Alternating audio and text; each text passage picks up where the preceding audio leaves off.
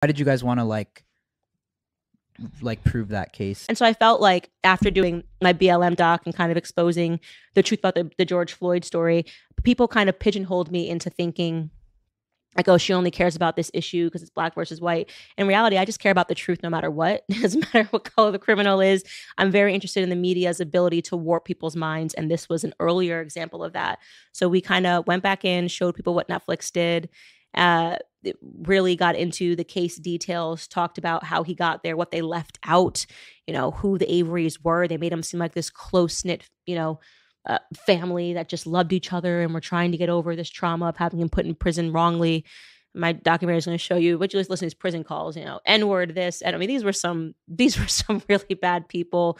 Uh, the way they speak about women, the way they speak about black people. I mean, so it, it it's a number, and it's just again one of those times to examine how easily we all all of us can be manipulated by the media. I have fallen victim to the media narratives before, and I'm not perfect. Maybe I'll fall for one in the future. But the Steven Avery story and Convicting a Murderer is a 10 part docu series that we did. And um, I don't know why I'm always pregnant when I do documentaries. The Daily Wire. It's weird, but I'm pregnant again. This one. So that's crazy. Yeah, I know. Just leaving out some facts and stuff can really just twist the narrative and stuff. Right. Right.